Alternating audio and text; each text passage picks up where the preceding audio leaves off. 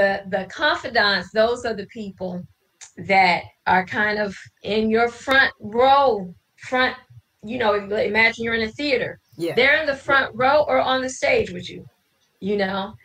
So, you know, some people may only have one confidant, Mhm. confidant. Some people may have none.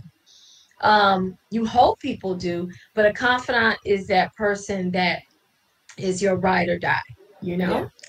Um, I am lucky to no- enough to have my sisters, my biological sisters, and my mother and my family as my confidant. A lot of Okay. people don't have that.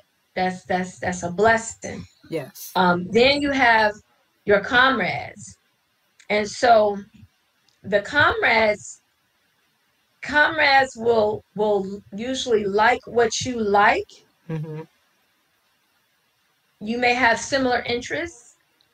You may like doing certain things together. hmm It is not a guarantee that they will like you because sometimes people can you they can like what you like but not like you.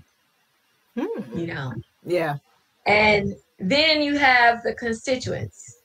You know, the constituents are are just people are in the peripheral of your life, you know. Okay. And they may be associates, they may be people you're you're not as close with. And sometimes constituents or comrades can become confidants. Correct. And and what what puts someone um in in that confidant or or or as a really good friend you know it's time i believe it's time and what is important to you so what's important to some people may not be important to me um you know so sometimes liking the same things being able to confide in each other hence the root word of confidant yes. so so being able to confide in each other and being able to trust that, you know, hey, you know, please don't.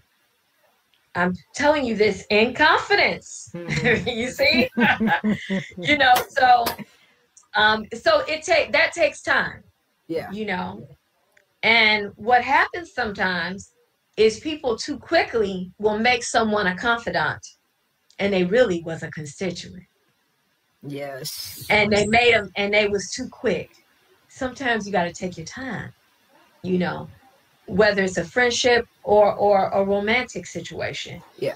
um Yeah.